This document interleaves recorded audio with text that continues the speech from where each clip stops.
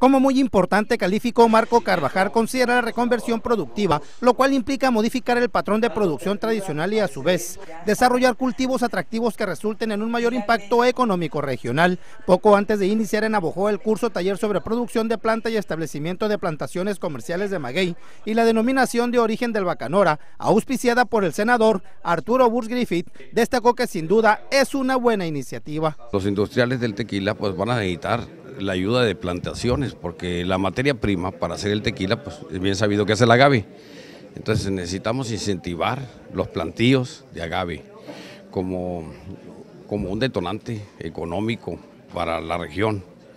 Es que está muy bien comprado este, lo que viene siendo la, la, planta. ¿no? Recalcó en la necesidad de detonar esta actividad en la región, sobre todo por la explotación que ha sufrido la tierra por la diversidad de cultivos que se han establecido a lo largo de los años. Necesitamos diversificar los cultivos para que den más ganancia, que aterrice el bienestar económico hacia la gente.